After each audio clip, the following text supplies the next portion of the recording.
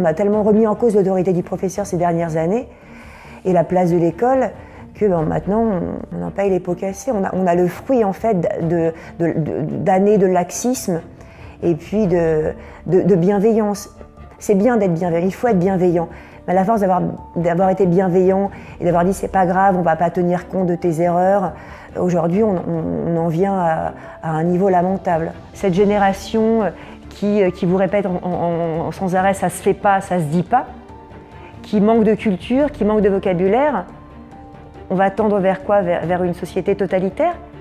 Des jeunes euh, qui, ne respectent plus rien ni personne? L'arrogance plus le manque de savoir, c'est euh, explosif comme, mixture. C'est-à-dire que ça va produire quoi par la suite?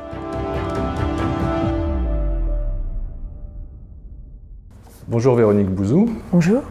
Alors merci de nous accorder cet entretien. Ah, merci à vous de m'inviter. Vous êtes euh, diplômé en lettres modernes et professeur de français dans un collège de la région parisienne. Vous êtes aussi l'auteur de plusieurs livres consacrés à l'école. Il y a quelques semaines, vous avez publié Un monde sans prof, une fiction dans laquelle vous décrivez les principaux problèmes qui minent le système scolaire français ainsi que les difficultés auxquelles les enseignants sont régulièrement confrontés. Vous commencez euh, d'ailleurs votre livre en, évoquant les sessions de recrutement express menées par plusieurs académies face à la, pénurie d'enseignants ces dernières années, des opérations de recrutement baptisées job dating, pendant lesquelles les candidats disposent généralement de quelques dizaines de minutes à peine pour convaincre les recruteurs. Vous évoquez aussi des annonces passées par l'éducation nationale sur le site Le Bon Coin pour recruter des professeurs en urgence. Alors, est-ce que les professeurs recrutés via ces opérations ont le niveau suffisant pour enseigner? Euh, Est-ce que les critères de sélection de l'éducation nationale sont à la hauteur des enjeux?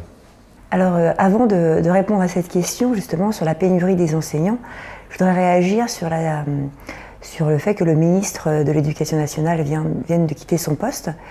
Donc euh, c'est vraiment, une, euh, selon moi, hein, euh, une, mauvaise image qu'on va donner aux, professeurs et un mauvais signal. Mais comment voulez-vous qu'on puisse convaincre des professeurs de rester à leur poste. Je pense à ceux qui sont, qui sont sur le point de démissionner parce qu'ils n'en peuvent plus. Et comment donner envie à de jeunes aspirants euh, professeurs à vouloir embrasser euh, le, métier d'enseignant et de quand on a justement le ministre lui-même qui quitte ses fonctions. Alors il a beau dire qu'il va emmener avec lui euh, à Matignon la cause de l'école, c'est quand même une, une cause à, plein temps qu'on doit doit qu'on ne doit pas négliger. Et en guise de comparaison, ce serait un petit peu comme si en temps de guerre, on avait le chef d'état-major qui quittait en fait, qui abandonnait ses troupes alors qu'on est en plein, euh, en plein combat. Donc euh, moi je m'interroge, j'ai l'impression que le corps enseignant est pris en otage par, par, des, euh, par des ambitions politiques. Mais derrière, derrière Attal, on a Macron. Et j'ai l'impression que Macron, il a déshabillé l'éducation nationale pour, pour mieux habiller Attal, en fait. Et donc, pour reprendre votre question, pour répondre, euh, en fait, de plus en plus d'enseignants aujourd'hui, en effet, euh, euh, songent à quitter l'éducation nationale, et donc on a une forte pénurie. C'est ce que j'ai voulu montrer dans mon livre. J'ai dressé en fait toutes les raisons pour lesquelles les professeurs partaient, quittaient le navire, et à cause de cela, eh bien, de plus en plus d'enseignants sont recrutés, non pas via des concours sérieux, mais par rapport à des, à des, enfin, des organismes un petit peu euh, arbitraire, donc euh, le bon coin, et euh, job dating. Donc ce sont des professeurs qui n'ont pas toujours le niveau, qui répondent à des questions rapides et qui sont embauchés à la va-vite. Donc certains ont, quand même, on va dire, une, expérience dans différents domaines, mais le métier de professeur, comme son nom l'indique, s'apprend. Et il faut avoir déjà des compétences disciplinaires solides et ensuite une maîtrise euh, de la pédagogie pour, pouvoir prétendre enseigner euh, devant une classe. Et donc c'est euh, désastreux.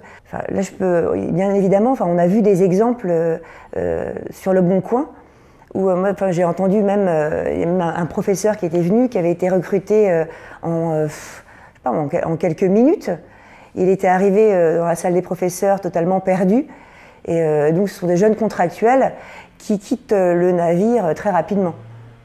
Et ce niveau déplorable justement de ces professeurs joue aussi, contribue à la baisse du niveau général euh, de l'école. Est-ce que les, professeurs qui sont recrutés dans, le cadre de ces sessions de, recrutement express bénéficient d'une formation ou d'une mise à niveau avant euh, de, commencer leur cours? C'est ce qu'on leur promet. On leur promet, euh, on leur promet qu'on va, les, va les soutenir, qu'ils auront des tuteurs sur place, qu'on pourra les, les, aider, que les formations viendront en temps et en heure.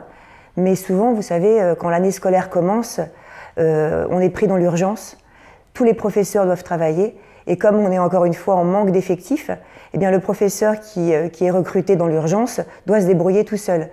Donc euh, il peut, on va dire, il peut euh, essayer de, s'appuyer sur des professeurs chevronnés qui vont l'aider, mais souvent il est livré à lui-même. Et donc il y a des professeurs réellement qui manifestent beaucoup de bonne volonté, qui travaillent pendant les vacances. C'est-à-dire s'ils sont recrutés au mois de juin, ils vont passer les mois de juillet, août à travailler à revoir même le, les, euh, revoir des cours. S'ils doivent enseigner du français, ben, ils vont revoir euh, de la grammaire, ils vont revoir de la conjugaison pour être euh, au niveau. donc là, c'est vraiment au cas par cas.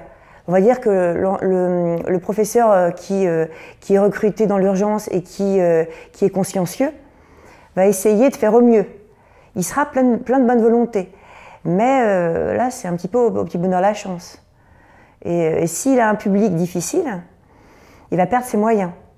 Parce qu'il faut vraiment être solide pour exercer ce métier aujourd'hui. Et, c'est pourquoi on a beaucoup de, démissions. Euh, alors, euh, certains viennent du privé.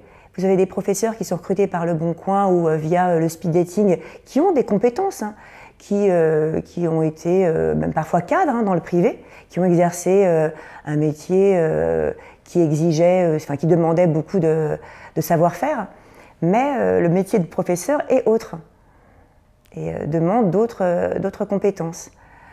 Et, alors maintenant, il, s'avère aussi qu'il y a certains professeurs qui passent le concours de professeurs des écoles ou de professeurs de lettres ou de professeurs de mathématiques qui ont aussi malheureusement des niveaux un petit peu tangents. je pense, il y avait le mot, enfin, il y avait une, c'était passé dans les médias, euh, parce que c'était des, membres du jury qui avaient fait remonter l'information. Euh, certains, justement, candidats à l'épreuve du professorat des écoles ne connaissaient pas le mot euh, chanceux ou chancelant. Il y a une confusion, je crois, entre chanceux et chancelant. ils avaient confondu le mot. ils se que chancelant voulait dire chanceux, avoir de la chance. Donc c'est sûr que quand on ne maîtrise pas le vocabulaire, comment voulez-vous ensuite l'enseigner aux élèves? Le niveau de mathématiques aussi pouvait être déplorable. Certains candidats qui étaient recrutés euh, n'avaient pas plus de 4 de moyenne en mathématiques. Donc il n'y a pas malheureusement que les professeurs recrutés euh, par le speed dating ou via euh, le Bon Coin qui, pour certains d'entre eux, n'ont pas le niveau requis. On manque tellement aujourd'hui de candidats qu'on va chercher des professeurs un petit peu partout. Et parfois même, ce sont les parents d'élèves eux-mêmes ou des mères des maires de, villages qui, euh, qui, font la démarche d'aller, chercher des professeurs, tellement on en manque. Donc euh, oui, la situation devient assez délicate. Et, quel regard vous portez justement sur le, bilan de, Gabriel Attal pendant euh, ces cinq mois et demi passés à l'éducation nationale? Alors est-ce qu'on peut parler de bilan en cinq mois? C'est un bilan assez court. Si vous voulez, derrière Gabriel Attal, il y, a, euh, il y a un gouvernement, il y a un président de la République. Et euh, comment voulez-vous aujourd'hui qu'on puisse parler de bilan quand, en l'espace de 20 mois, on aura eu quatre ministres de l'Éducation? On a eu euh, Jean-Michel Blanquer, on a eu Papendiaï, on a eu donc Gabriel Attal, on va en avoir un quatrième. Donc quel est le point commun entre Papendiaï, Jean-Michel Blanquer, Papendiaï et Gabriel Attal? Quand un président de la République est capable donc, de nommer deux, enfin, parce que a bien sûr, c'est le chef de Matignon qui nomme, mais derrière, il y a le président de la République, des ministres de l'éducation nationale aussi différents qu'en penser au niveau, on va dire, de la colonne vertébrale? De dire que l'école est une priorité, certes, mais alors comment, comment se fait-on? Donc on a autant de, discours différents. pour revenir à votre question, il y a des pistes intéressantes qui ont été lancées euh, sur l'autorité du professeur. Ça c'est intéressant. Faire que le professeur puisse un petit peu décider du redoublement. Ça je trouve plutôt, plutôt une bonne chose. Faire aussi en sorte que le brevet des collèges puisse avoir réellement un impact et pas, un, pas un diplôme au rabais. Ça aussi ça peut être intéressant. La même chose pour les groupes de niveau. Pourquoi pas? On voit que l'hétérogénéité, en tout cas la trop grande hétérogénéité dans une salle de classe, pose, euh, pose souci. Mais le problème, c'est des groupes de niveau bien mis en place. Pour cela, il faudrait des professeurs. Parce qu'aujourd'hui, on a des classes de 30. Moi, j'ai des classes de 3e, ils sont à 30 aujourd'hui. Donc, euh, si on divise la classe en trois groupes, ça voudrait dire qu'il faudrait trois enseignants de français pour euh, pouvoir euh, être devant des élèves avec des groupes de niveaux différents. On n'aura pas les, professeurs. Donc c'est un, simple détail. Pour pouvoir mettre en place euh, des groupes de niveau et dispenser des cours de qualité, il faut des petits groupes. Mais si on n'a pas d'enseignants, on va les chercher où les, professeurs pour faire des groupes de niveau Donc on va les chercher auprès d'autres enseignants, d'autres disciplines, voire de surveillants qui ne sont pas toujours compétents pour pour euh, transmettre euh, les connaissances et les compétences à des élèves de niveaux différents.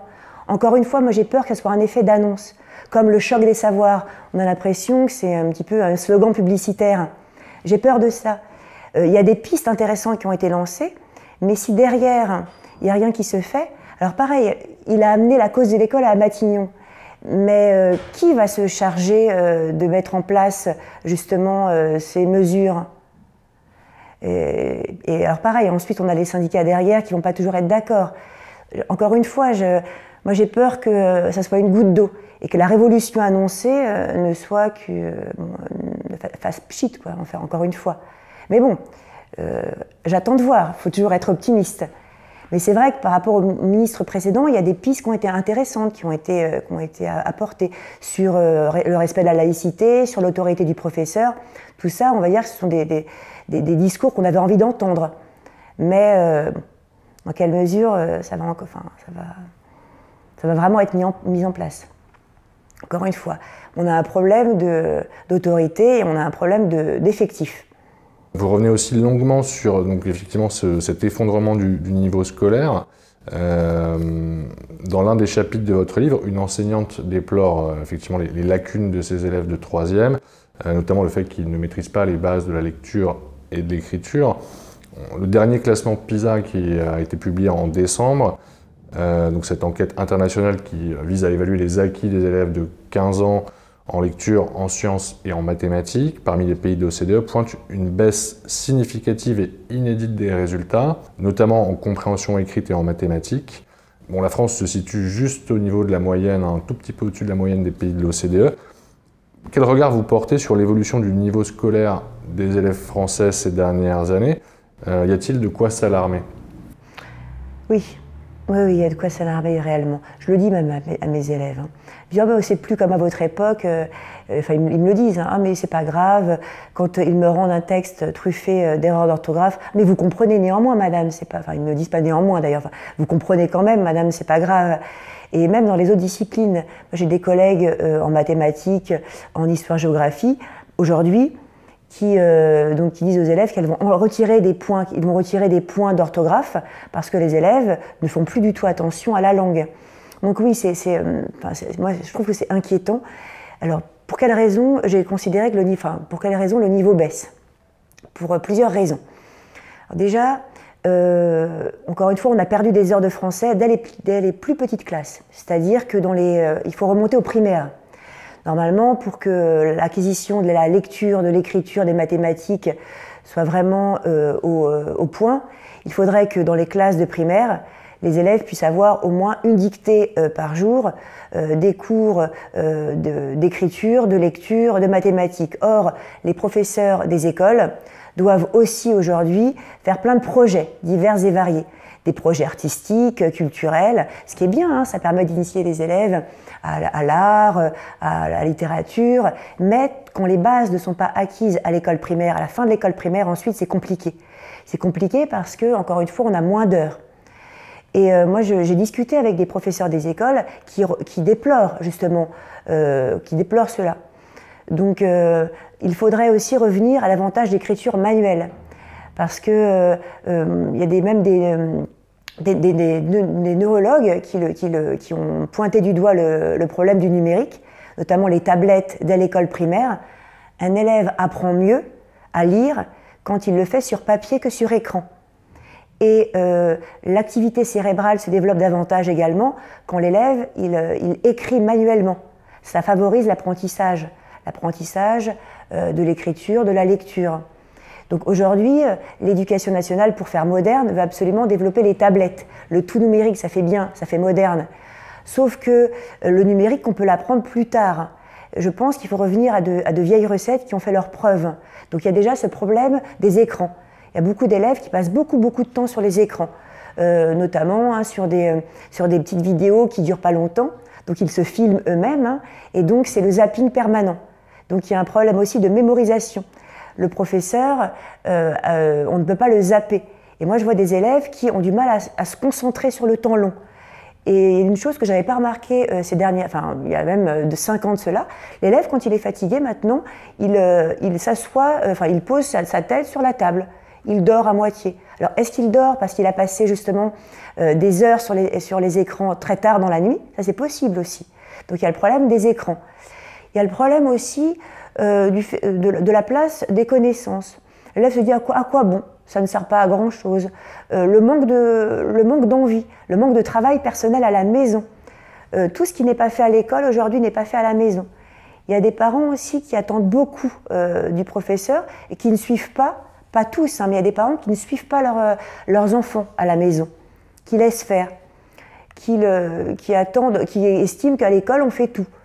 Et donc, ben, l'élève, euh, une fois qu'il arrive à la maison, il pose son sac, il ne fait pas grand-chose. Donc il y a un problème aussi euh, du, travail, à la maison. On ne refait pas les exercices de mathématiques, on, ne, lit pas. Quand je demande à des élèves de lire des livres, très, enfin, euh, honnêtement, et qu'il y a une évaluation de lecture, il y a moins de la moitié des élèves qui ont, lu le livre demandé. Donc il y, a un problème, euh, il y a un problème de travail réellement. Il y a un problème ensuite de, de connaissance, c'est-à-dire qu'il euh, y a des élèves qui ne maîtrisent pas du tout même l'histoire de France, l'histoire de leur pays. Normalement, c'est en histoire-géographie en troisième qu'on travaille sur la Seconde Guerre mondiale. Mais normalement, Hitler, le nazisme, les élèves ne devraient pas attendre la troisième pour en avoir déjà entendu parler. Or, certains, si. En classe de quatrième, quand euh, on aborde le, thème de la dictature, c'est qui Hitler? Il y a encore cette, question qui est abordée. Euh, puis c'est flou. Euh, moi, j'écris toujours une citation du jour au tableau avec le nom de l'auteur et la date.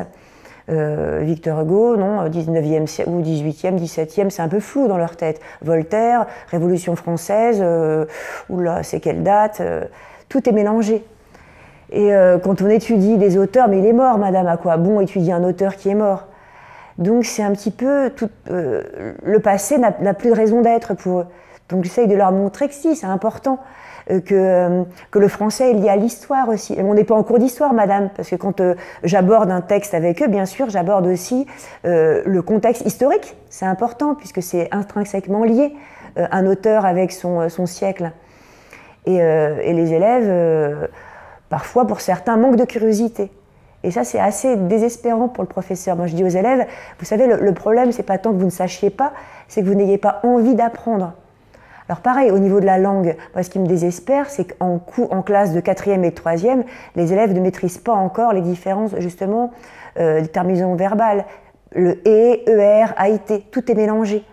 Euh, la construction syntaxique de la phrase n'est pas là.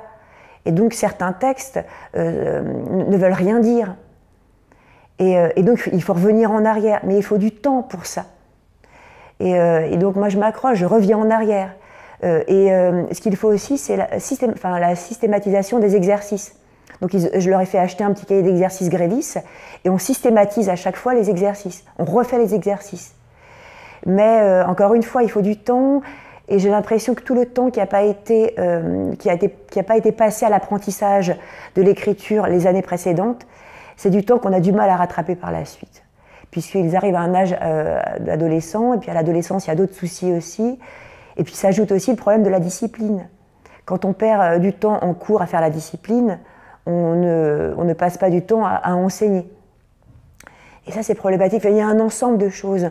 Euh, et puis, donc il y a l'autorité du professeur qui joue aussi sur le niveau scolaire, puisque qui dit autorité du professeur qui est perdu dit on passe du temps à, crier. Des euh, certains, il y a tellement, enfin, certains professeurs n'arrivent pas à obtenir le calme dans la classe. Donc comment voulez-vous apprendre dans le bois? Les élèves qui ont des difficultés, qui ont des lacunes, ont besoin de calme. Euh, s'ils sont sans arrêt euh, perturbés par des camarades qui passent leur temps à bavarder, ils ne peuvent pas travailler dans le calme. Donc les écrans, le manque de travail personnel à la maison, le manque d'envie, et puis la place de l'école aujourd'hui, c'est un petit peu l'aquabonisme. À quoi bon travailler? Oui, bon. Euh, euh, maintenant, on va passer sur TikTok, on va devenir des petites stars. Euh, moi, enfin, les élèves, ils se passent plus de temps à, enfin, certaines filles à, se maquiller qu'à que réviser leurs leçons. Et ça, c'est vrai que c'est assez déprimant. c'est assez déprimant pour l'avenir. Après, il y aura toujours de très bons élèves. Euh, et, c'est assez paradoxal parce que euh, les parents d'élèves s'inquiètent néanmoins du niveau de leurs élèves. Et quand on arrive justement en troisième et qu'il faut faire le choix de l'orientation, là, euh, il y a un déclic qui s'opère. Moi, j'ai des parents qui, m'appellent. Qu'est-ce que vous me conseillez? Qu'est-ce que je dois faire? Est-ce que j'ai pris un professeur particulier pour aider, mon enfant en mathématiques, en français? Là, ils, appellent au secours. Ils se sentent démunis. Euh, donc c'est paradoxal. Vous avez aussi des parents qui travaillent et qui n'ont pas beaucoup de temps à accorder à l'éducation, enfin en tout cas à, l'enseignement. Donc c'est un ensemble. C'est aussi, euh, on remet sans arrêt en cause aussi l'autorité. On a tellement remis en cause l'autorité du professeur ces dernières années et la place de l'école que ben, maintenant on, en paye les pots cassés. On a, on le fruit en fait d'années de, laxisme et puis de bienveillance. C'est bien d'être bienveillant, il faut être bienveillant. Mais à la force d'avoir été bienveillant et d'avoir dit c'est pas grave, on va pas tenir compte de tes erreurs, aujourd'hui on, en vient à, un niveau lamentable. Et euh, alors, il y aura toujours de très très bons élèves. Moi j'ai toujours d'excellents élèves, vraiment qui ont une culture générale extraordinaire. Mais souvent ces élèves-là, c'est des élèves qui ont aussi à la maison, euh, on leur donne de la nourriture, euh, de la nourriture euh, spirituels, intellectuels, ils ont des livres derrière eux, ils vont pouvoir discuter à table avec leurs parents, ils vont, avoir eu la chance d'aller au musée, euh, de visiter euh, la France, d'avoir des connaissances géographiques. Et à l'inverse, vous avez des élèves qui, pendant toutes les vacances scolaires, eh bien, ils, restent entre eux dans, leur quartier, ils connaissent rien d'autre, à part, à part à part euh, les écrans. Et puis donc, ça va être plutôt l'influenceuse qui va leur inculquer en fait des connaissances, enfin, des connaissances au rabais, que le professeur. Et j'essaye d'être cette figure du professeur qui, euh, qui euh, garde justement la tête haute et qui continue à leur faire étudier les grands auteurs. Donc Victor Hugo, Georges Sand, les grands auteurs du 19e siècle en quatrième. en troisième, moi je commence l'année de troisième par Montaigne sur l'autobiographie. Donc, euh, et ça passe, euh, les élèves comprennent quand euh, on a justement le biais pédagogue pour leur transmettre les connaissances. Mais encore une fois, j'ai l'impression d'être un dinosaure. Parce que moi, j'ai aussi j'ai fait hippocagne enfin, j'ai quand même aussi une formation très classique. Et cette formation m'a aidé. J'avais une, version par semaine de latin, j'avais des dissertations. Et, donc, moi, j'ai une vision de l'école très très stricte au niveau du savoir. Et euh, moi, je fais beaucoup écrire les élèves. Euh, il y, a des dictées, il y a de la grammaire.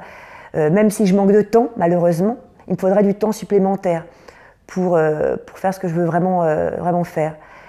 Mais il y a des professeurs qui sont plus jeunes que moi et qui n'ont pas eu la, la même, malheureusement, qui ne sont pas passés par les mêmes écoles et qui sont peut-être moins, moins rigoureux que, que je peux l'être.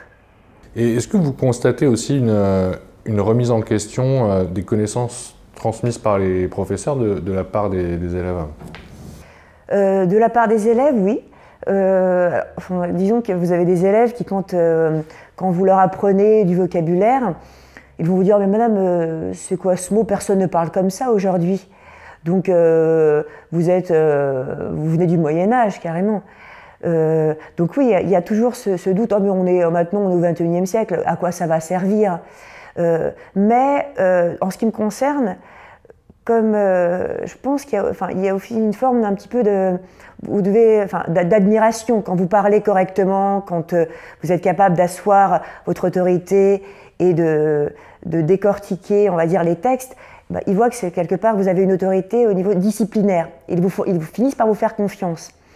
Euh, et puis, euh, euh, moi, j'exerce dans le même établissement depuis quelques années, donc j'ai pu justement développer une relation de confiance avec les parents d'élèves et les élèves. Donc ça se passe plutôt bien. Mais c'est vrai que dès qu'un professeur a un problème d'autorité avec ses élèves et veut le punir, là l'élève remet en cause. L'élève va davantage remettre en cause un professeur quand il a une mauvaise note. Oui, ça se fait pas.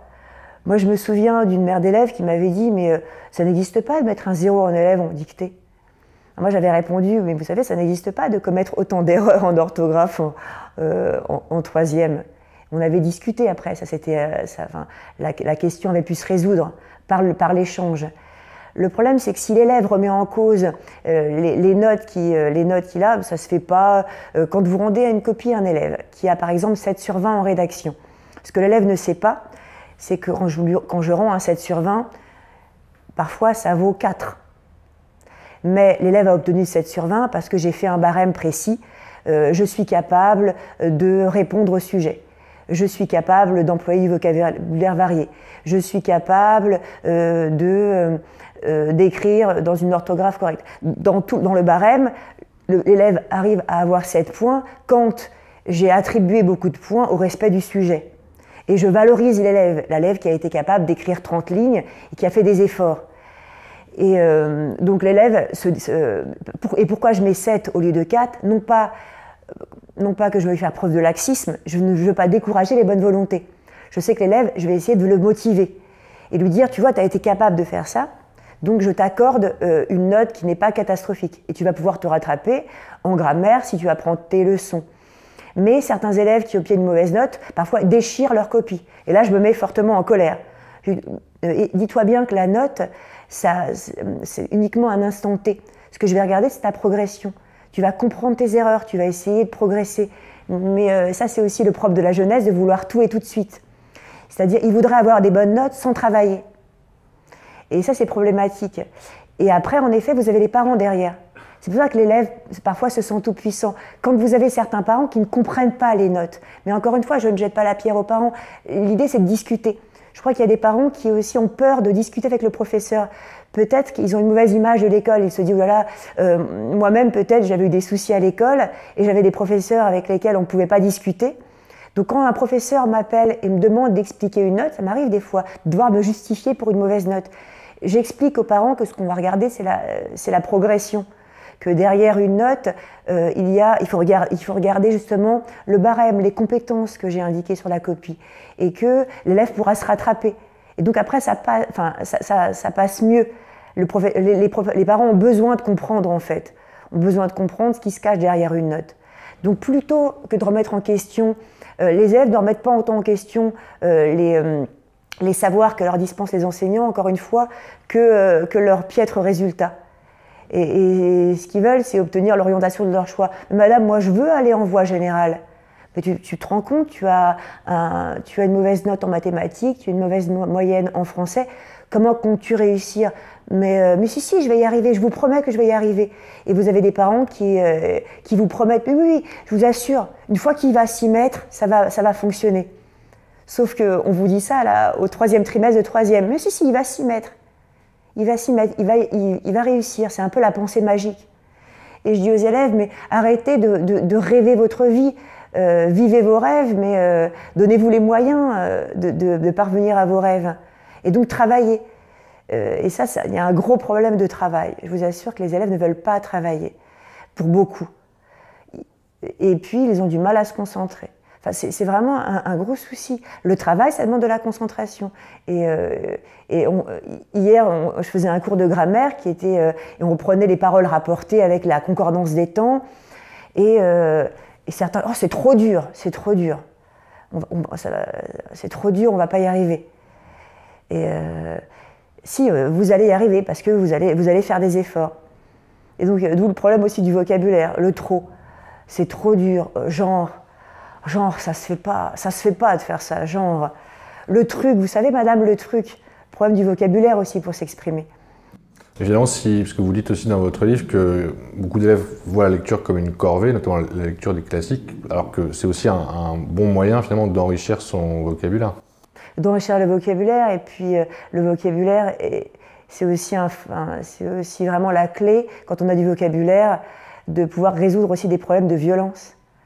Parce qu'aujourd'hui, les, élèves qui ont justement euh, euh, des frustrations et autres n'ont que la violence comme, comme, euh, comme, dialogue.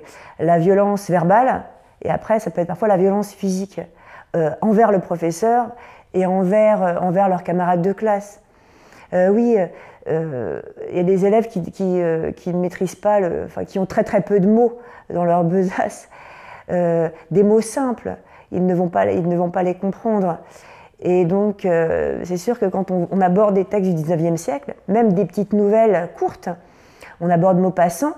Maupassant est un auteur qui est, facile à lire.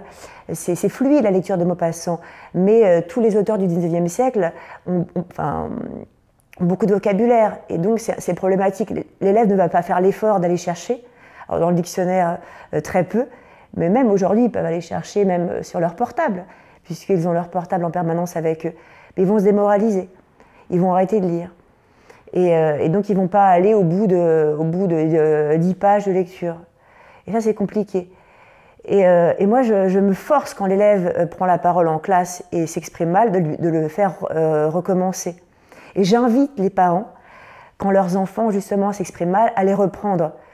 Euh, quand l'élève euh, va dire c'est trop bien, j'invite les adultes à demander à, l'ado de reformuler. Qu'est-ce que tu entends par trop bien? C'est génial, c'est fantastique, c'est extraordinaire?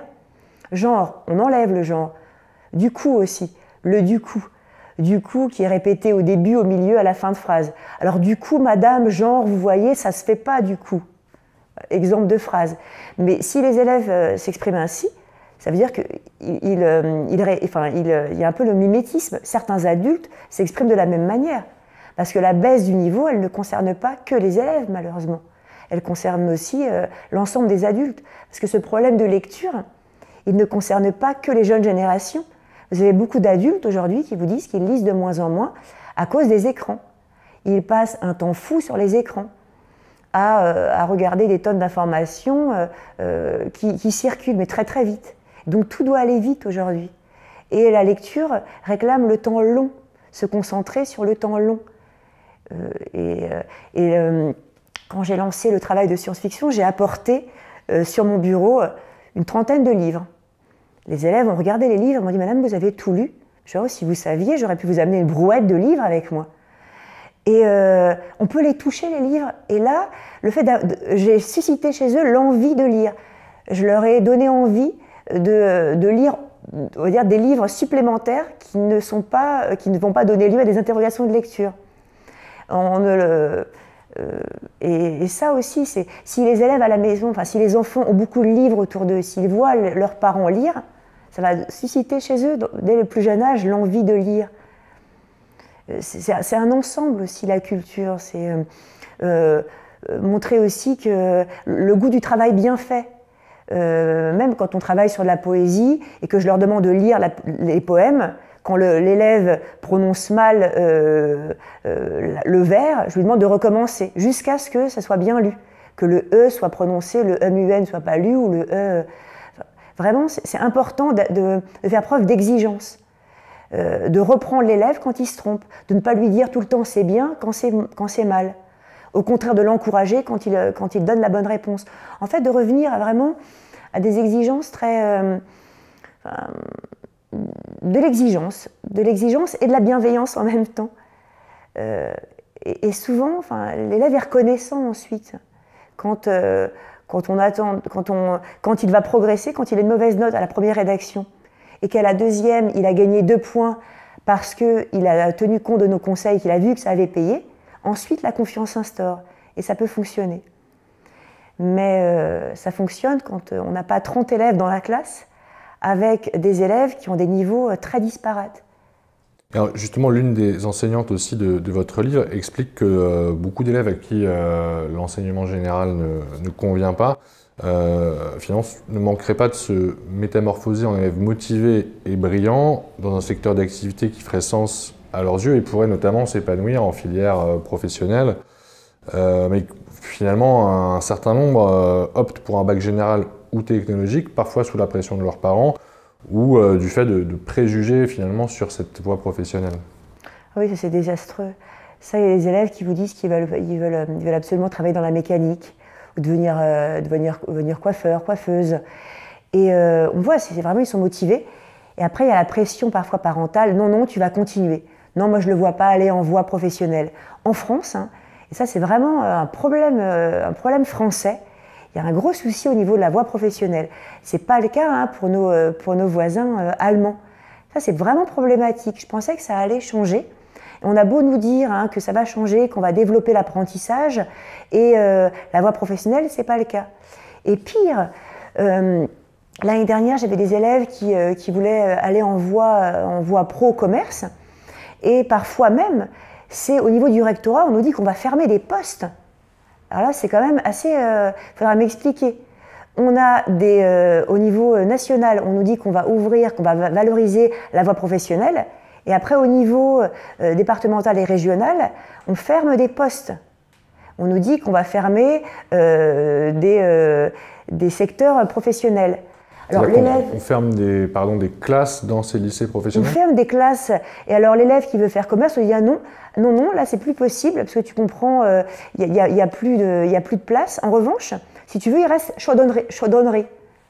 Donc euh, chaudronnerie parce que là, tu vois, on, est en déficit, on a besoin, euh, on a besoin de, de, techniciens euh, dans, dans, ce domaine.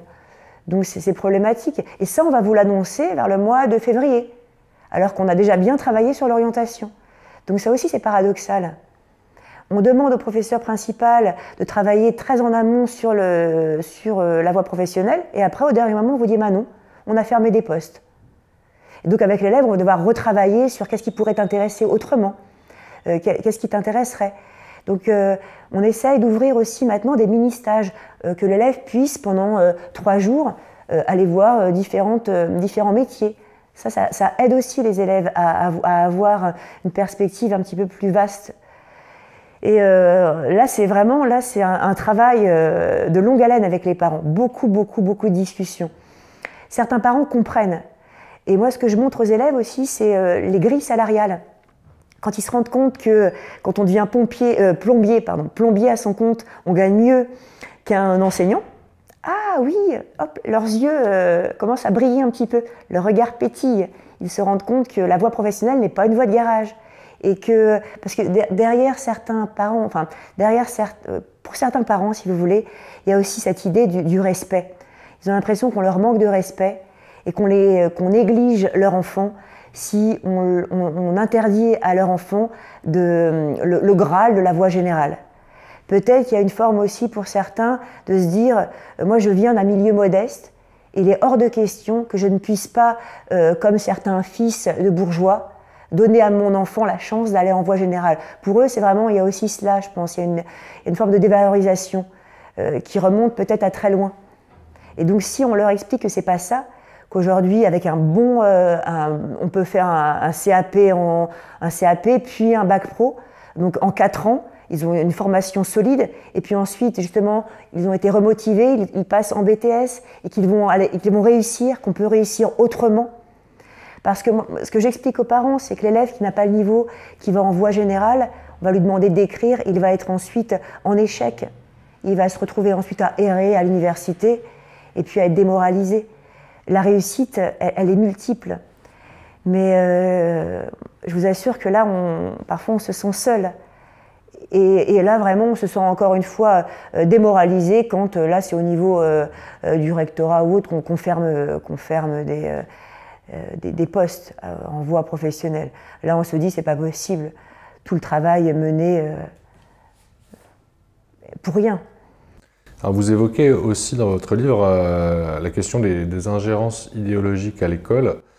Euh, vous insistez d'ailleurs sur le fait que la transmission des compétences et des connaissances euh, ne, saurait en aucun cas dépendre euh, d'une quelconque idéologie.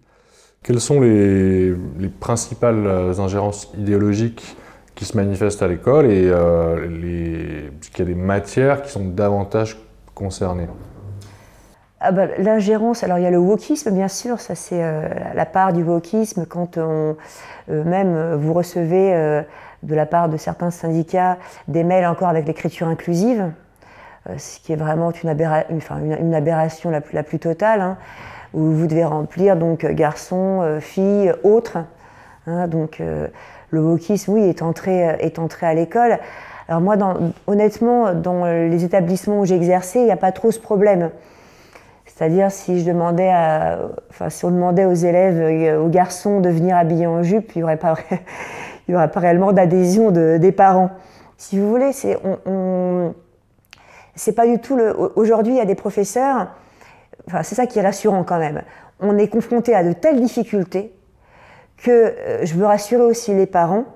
Les, professeurs n'ont pas le temps de, de comment dire d'être pris par cette idéologie.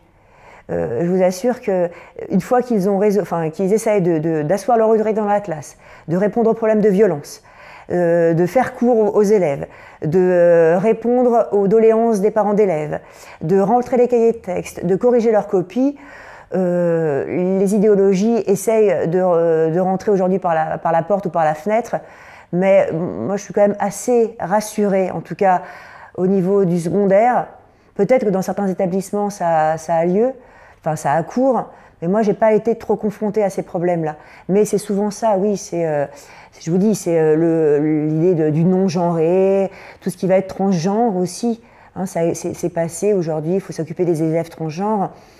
Bon, euh, il peut y avoir des élèves qui ont des, des, soucis, des questions au niveau de leur identité.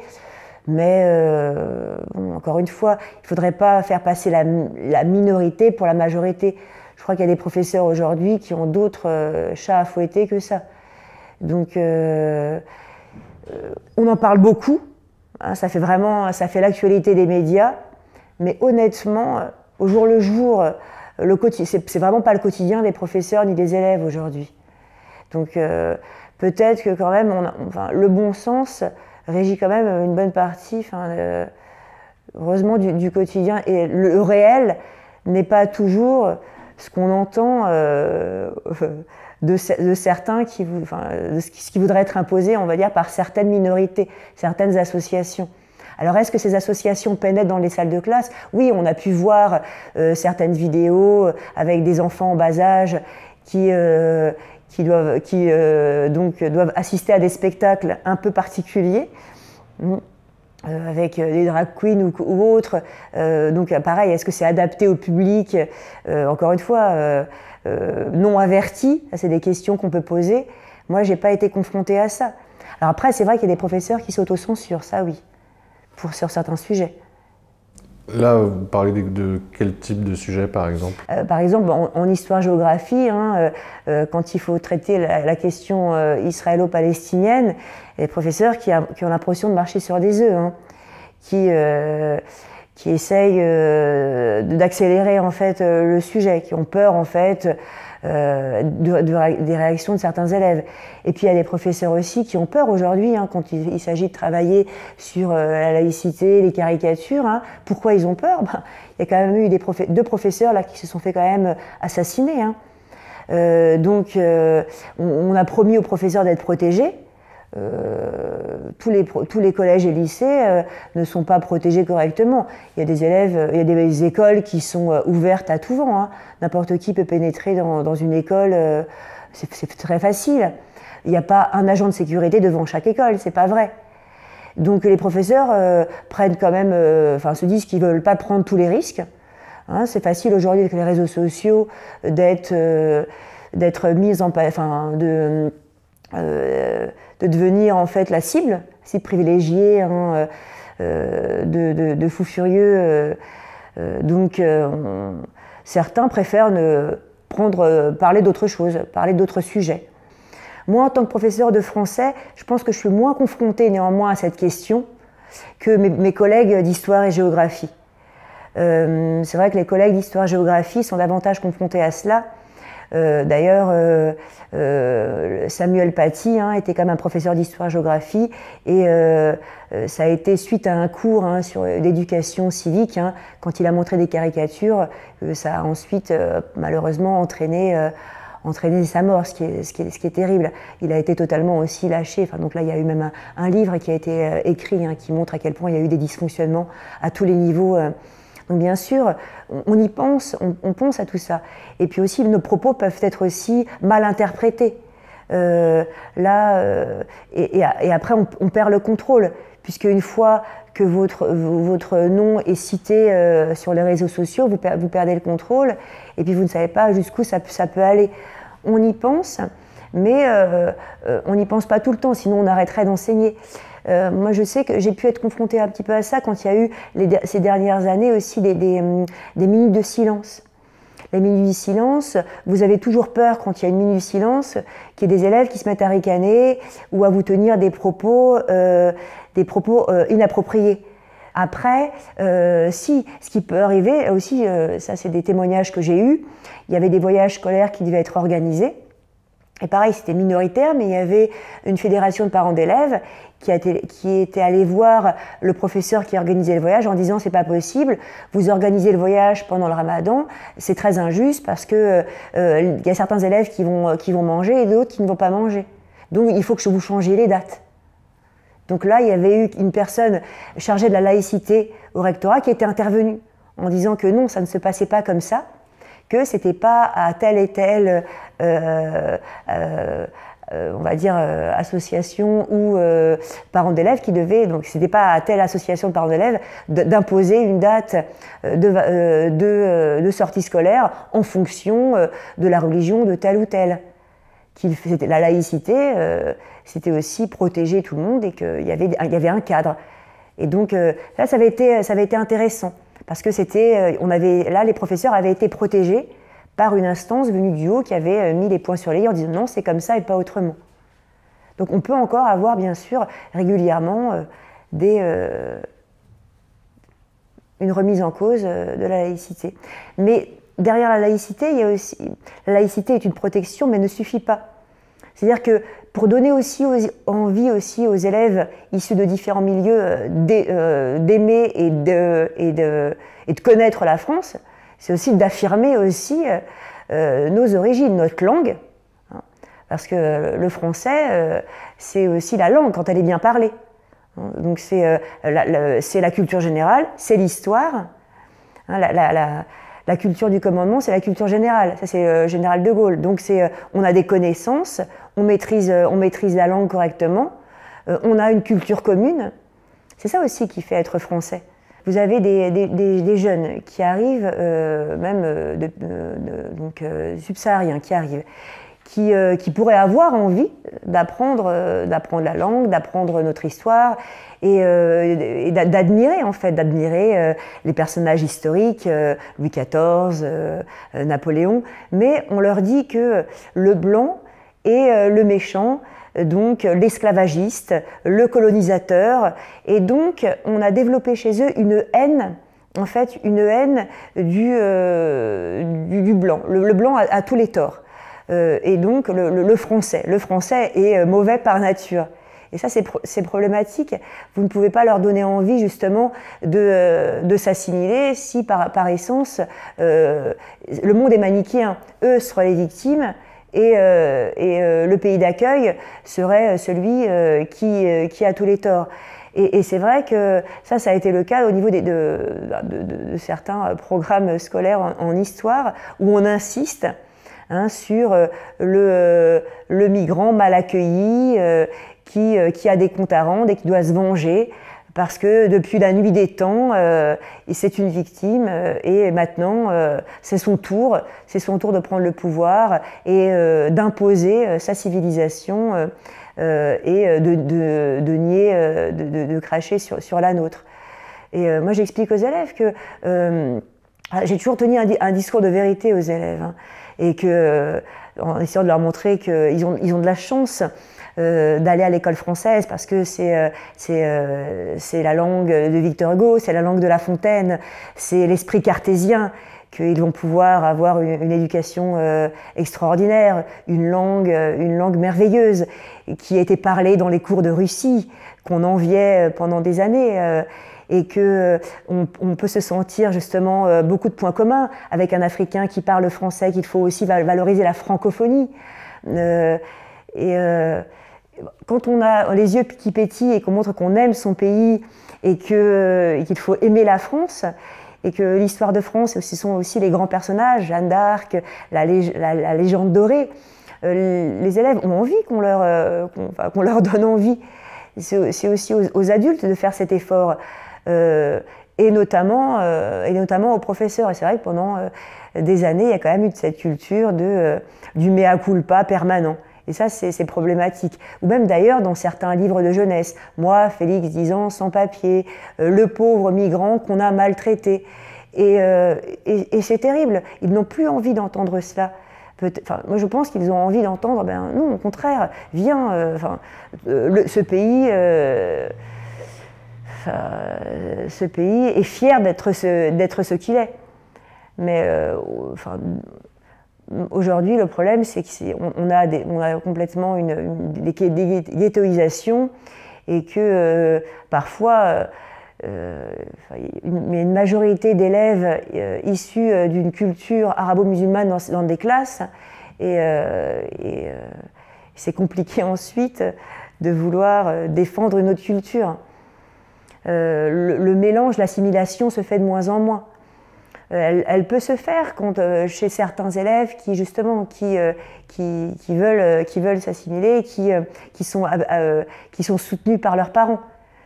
Mais dans certains quartiers ghettoisés, c'est compliqué. Et là, c'est plus vraiment la loi et c'est plus vraiment l'école française qui va s'appliquer. Ça va être autre chose. C'est d'autres règles.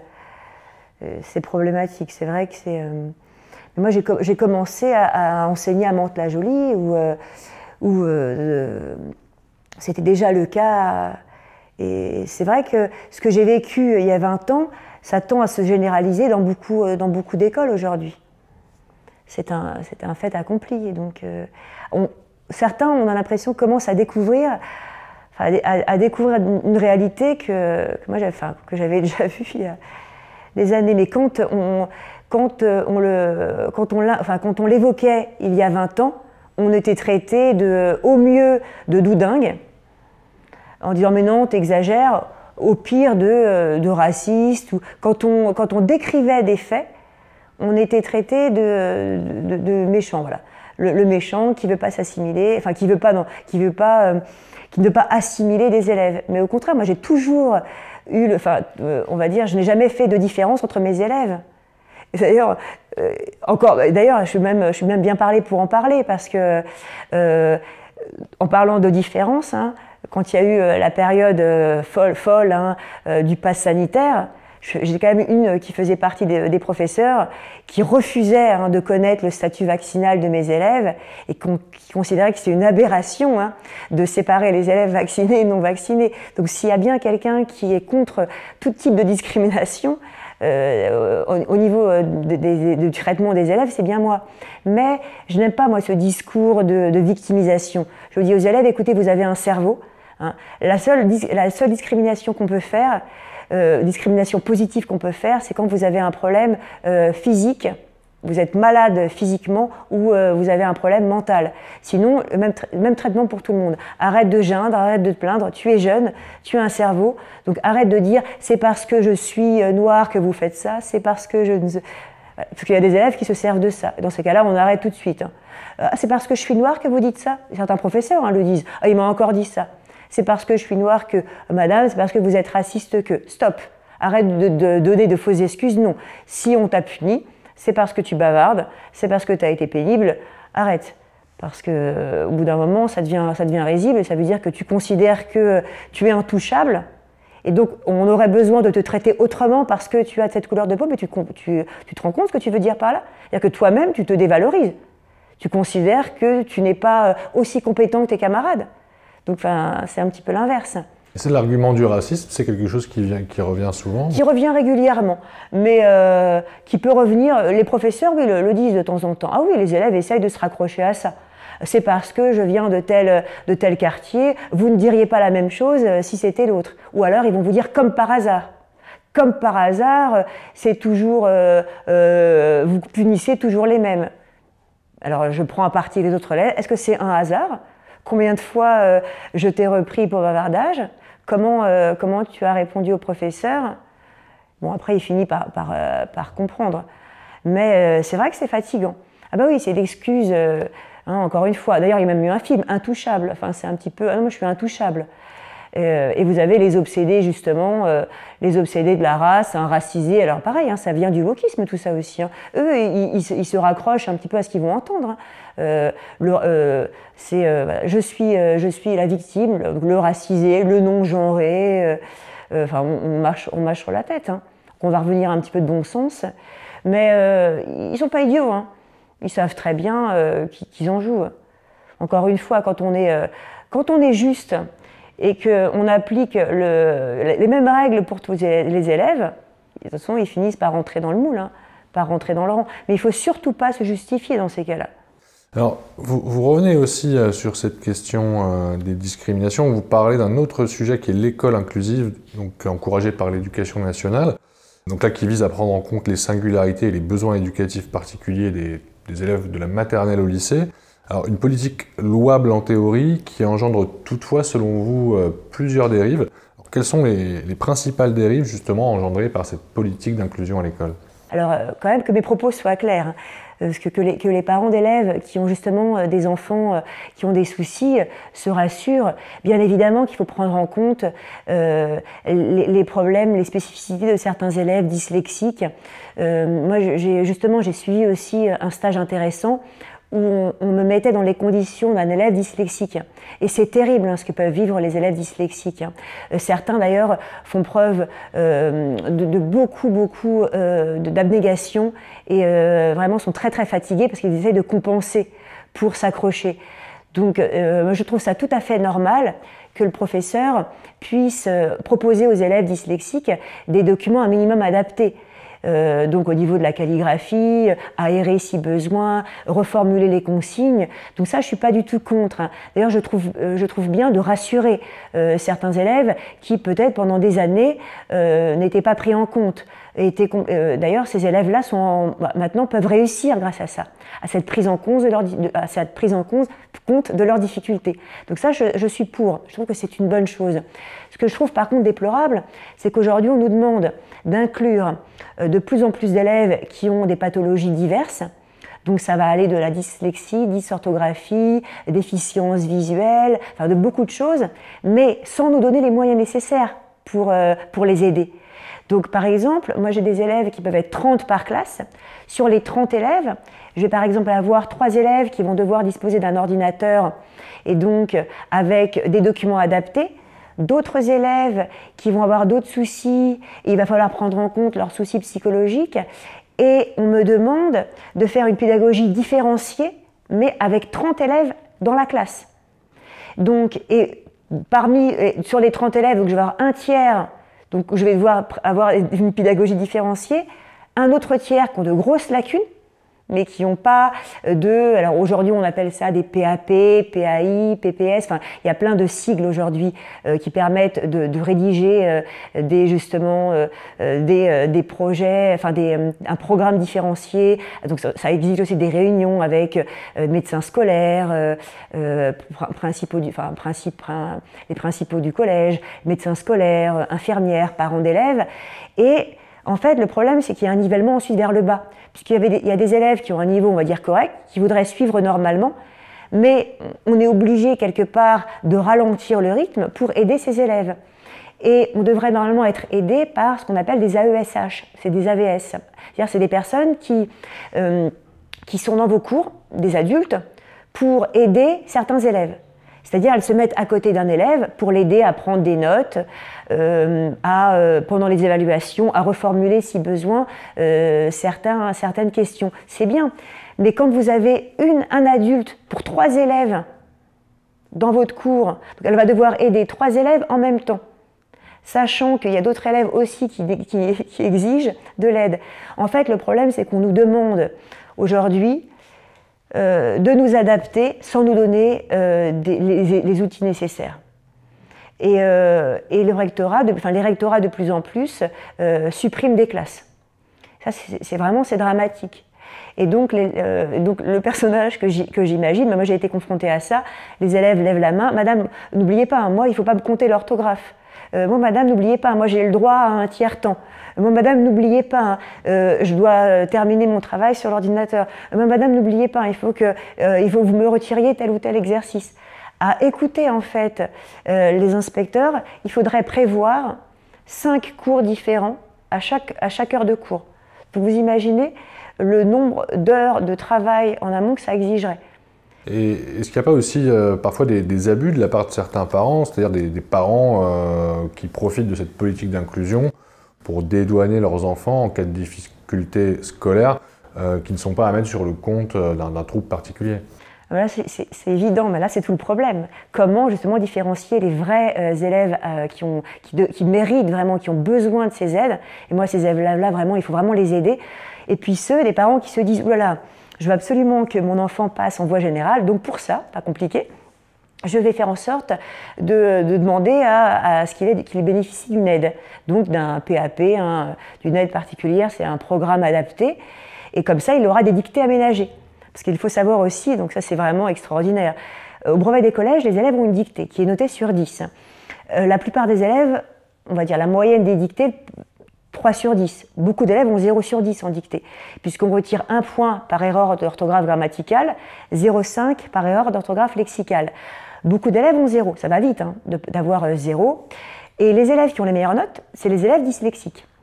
Pourquoi? Parce que ce sont des élèves qui ont des dictées aménagées. Qu'est-ce qu'une dictée aménagée? Le texte est écrit et on sélectionne 10 mots et euh, sur les 10 mots sélectionnés, ils doivent entourer la bonne réponse.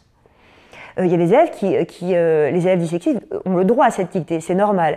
Mais il y en a certains, on peut douter. On peut douter. Donc il y a des parents qui veulent tellement que leur enfant puisse passer on va dire, dans la voie dite pour eux d'excellence, même si c'est complètement faux général, ils vont demander à ce que l'enfant puisse bénéficier justement de tiers-temps, d'un aménagement particulier. Et alors pareil, certains parents se dédouanent. Leur enfant n'est pas euh, turbulent, il est hyperactif. Vous voyez? Comme ça, c'est bien pratique. Ah mais non, non, il faut être... Euh, vous l'avez puni, mais non, quand même, écoutez, il a des soucis euh, d'attention, il est hyperactif. Mettez-le au premier rang, aidez-le. Moi, je veux bien mettre les élèves au premier rang, sauf que j'ai pas assez de premier rang disponible. Globalement, tous les parents voudraient que leur enfant soit au premier rang. J'ai 30 élèves, je fais comment pour tous les mettre au premier rang. Je, n'ai plus de place. Donc euh, oui, bien évidemment, il y a aussi euh, les, parents jouent de tout cela. Alors vous parlez aussi dans votre livre de la, question de la violence en, milieu scolaire, hein, notamment à travers euh, enseignante qui prend un coup en essayant de s'interposer lors d'une bagarre entre deux élèves. Est-ce que vous constatez une banalisation des, violences physiques et, verbales hein, ces dernières années, puisque vous enseignez depuis 20 ans? Et est-ce que la violence est devenue un moyen d'expression privilégié dans le système scolaire? Oui. Je pense que, même pas que, pas que, chez, les, euh, pas que chez les jeunes hein, d'ailleurs. Il suffit de prendre la voiture tous les matins pour voir comment les automobilistes se comportent. Euh, totalement la, frustration, le manque. On parle des cours d'empathie. On dit qu'il va falloir développer des cours d'empathie pour euh, régler ce problème. C'est lié à ça aussi, hein, la question de la violence c'est le, problème d'empathie, le problème de se mettre à la place de l'autre, et c'est dû notamment, hein, en partie, aux écrans. Il y a un manque de relation, euh, de communication directe. La communication, elle se fait via les écrans. Et donc, on communique de moins en moins. Et donc, euh, la communication euh, se fait, passe par la violence. Il y a un manque de vocabulaire, donc tout est lié en fait, c'est un cercle vicieux. On n'a pas de vocabulaire pour s'exprimer, on n'a pas de culture générale, on manque de connaissances, euh, les amalgames vont s'opérer, euh, on, va, on va prendre un mot pour un autre, on, va pas, on va mal interpréter un propos parce qu'on n'a pas de connaissances. et, donc on va passer par, le, par les insultes. Et même, on peut surprendre des conversations entre élèves dans, dans la cour de récréation, dans les couloirs. Ils vont s'insulter, alors je ne vais pas reprendre leurs propos. Et, ils sont habitués comme ça. Même, on rigole. Et donc très vite ensuite, on passe au coup. Il y a des élèves, des fois, même leur, ton, ils vont être agressifs dans leur manière de vous répondre. Mais je ne suis pas agressive, je parle normalement. Tu te rends pas compte Ils ne se rendent même plus compte en fait qu'ils vont être agressifs, qu'ils vont euh, vous répondre sur un ton, euh, sur un ton virulent, euh, sur un ton qui, est inadapté par rapport à l'adulte. Pareil, certains vis-à-vis de leurs parents. Moi, des fois, je reçois des parents avec leurs enfants. Quand j'entends l'élève répondre à son, à, son père ou à sa mère, oh, je suis offusquée. C'est-à-dire que même ils, répondent mal à leurs parents. Comment voulez-vous que certains élèves qui parlent mal à leurs parents puissent ensuite parler correctement à leurs professeurs Pour eux, c'est devenu la norme. On, parle comme ça. Euh, et alors, euh, il y a aussi ce mimétisme, encore une fois, au niveau des réseaux sociaux, certains textes aussi parfois euh, de rap. J'avais montré, j'avais travaillé avec les élèves sur un texte de rap pour leur montrer la violence de certains propos que comment, comme je leur avais expliqué qu'ils pouvaient avoir des intentions nobles, c'est-à-dire que euh, vouloir s'exprimer sur des sujets graves, mais ils seraient jamais pris au, sérieux, ils seraient jamais respectables s'ils n'étaient pas capables de se faire respecter, que si la forme n'était pas correcte, ils ne, le, fond ne serait pas écouté. qu'ils ils ne peuvent pas exiger d'autrui qu'on écoute leurs propos s'ils parlent uniquement par borborime, par onomatopée, wesh, wesh, wesh, ça se fait pas. Euh, et puis euh, ensuite avec des, propos inadaptés. Ça, ils le comprennent. Je leur dis qu'on était aussi une, époque de l'image et que la, forme comptait au moins autant que le fond. Et quand ils devraient aller à des entretiens d'embauche, hein, que si euh, ils, marchent d'une manière chaloupée et qu'ils répondent mal à leur à celui qui doit leur passer, enfin, à celui qui doit leur faire passer un entretien d'embauche, ils seront pas pris. Euh, il y a une attitude à avoir, notamment euh, bien se, enfin, ne pas porter une tenue euh, de jogging quand on, va, quand on se présente pour un oral de stage aussi, hein. et puis s'exprimer correctement. Ça, c'est compliqué. La violence, elle, passe par là. Elle passe par, par ce, langage, on va dire, avait le langage des rues qui parfois est devenu même qu'à niveau.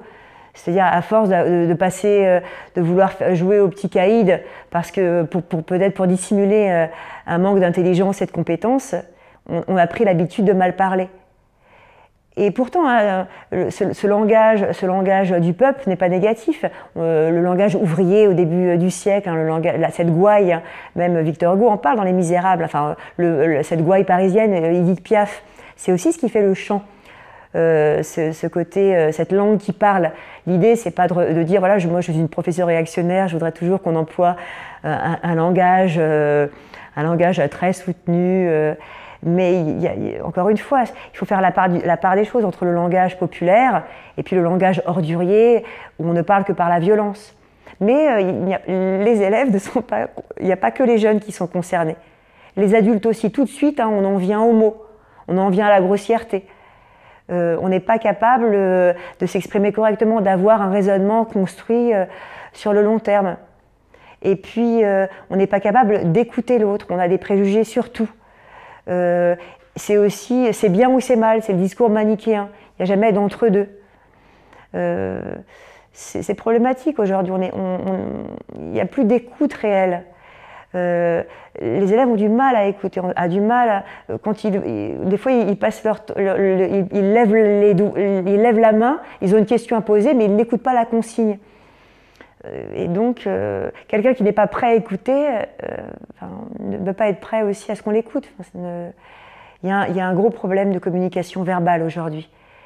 Et moi, j'ai très peur pour la suite de euh, ce, que ça va générer chez les élèves. Parce que quand on lit les textes, hein, les textes justement de science-fiction 1984, Le meilleur des mondes, euh, cette génération qui, euh, qui vous répète en, sans arrêt ça se fait pas, ça se dit pas, qui manque de culture, qui manque de vocabulaire, on va tendre vers quoi? Vers, une société totalitaire?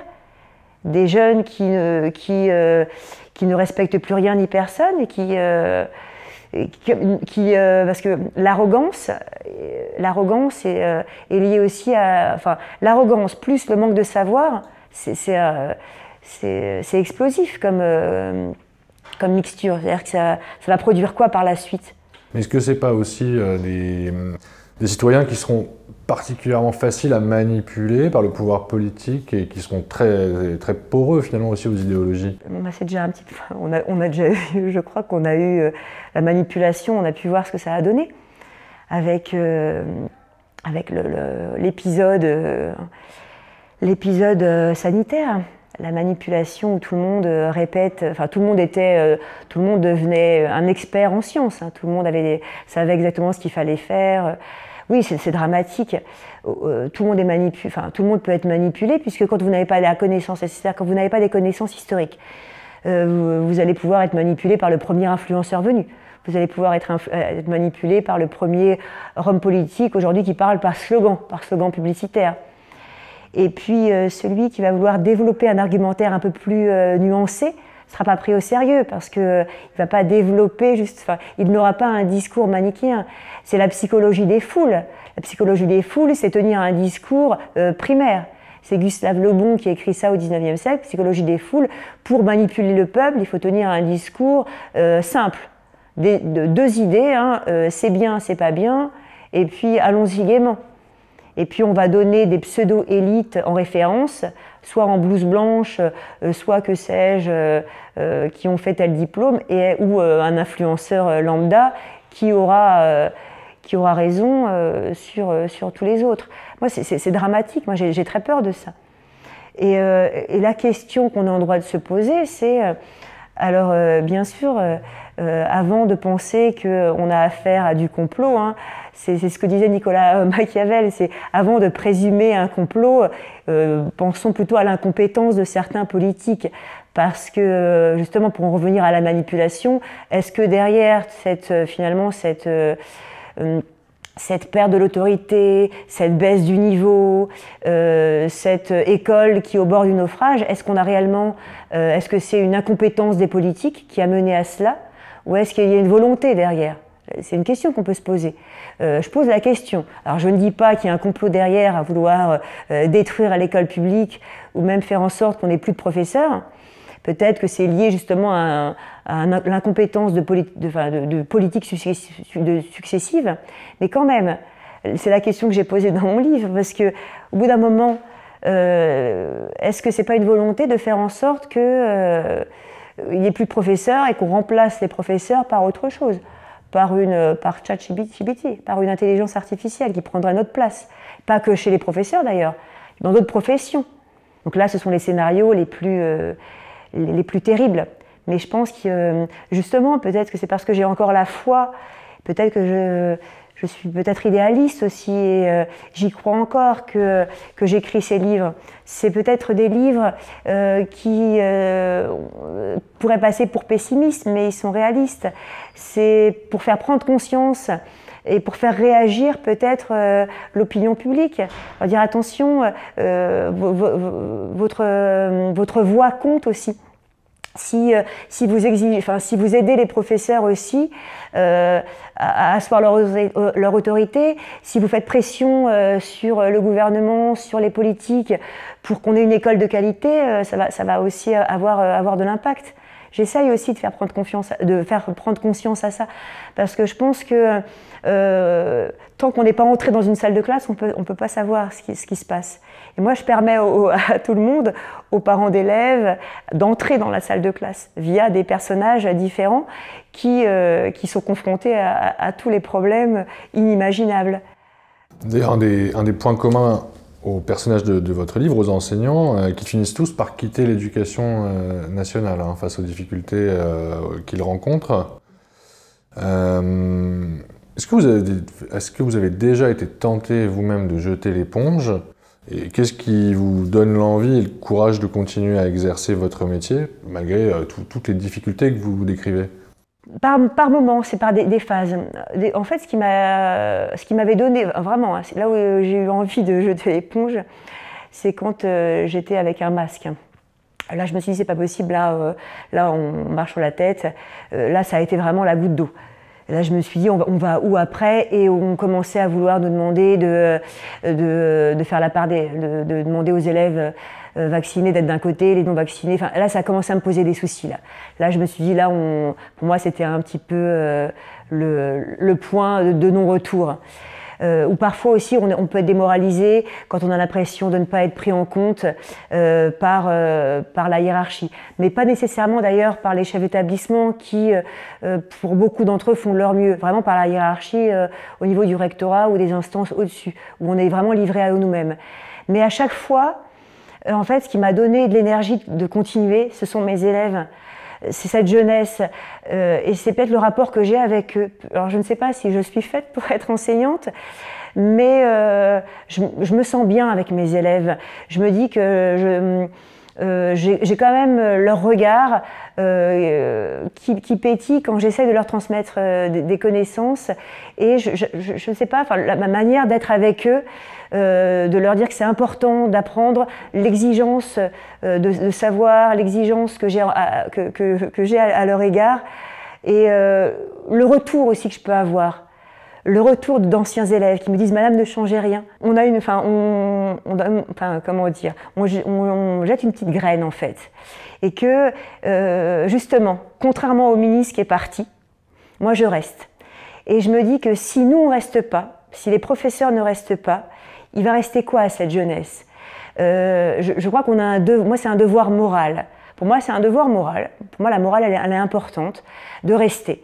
Et si j'avais été à la place justement euh, du ministre, je serais restée. Je serais restée, j'aurais refusé le poste à Matignon. Je serais restée et je crois que ça aurait été un bon signal envoyé, euh, envoyé au corps enseignant. Non, moi je considère que l'école c'est suffisamment grave, que c'est un sujet trop sérieux pour qu'on s'y occupe à mi-temps. J'ai lancé des pistes, mais je veux justement euh, prendre ce problème à bras le corps. Donc je ne démissionnerai pas. C'est important. Je pense qu'il y a des élèves qui comptent sur nous. Euh, c'est un petit peu comme les médecins aujourd'hui. Enfin, on, a, besoin de médecins. On a, besoin de, policiers, enfin, on, a, besoin d'un service public de qualité, enfin, même des, professeurs qui enseigneraient dans le privé, peu importe. On, est un rempart contre la barbarie, contre l'ignorance. Donc je pense que c'est un, devoir et c'est ce qui me porte tous les matins. Je crois que ma place, elle est là. Je, sais que j'ai un rôle à jouer et que, que c'est un métier qui sert. Donc voilà pourquoi, voilà pourquoi je reste. Merci beaucoup pour votre témoignage, Véronique Bouzou. Merci à vous.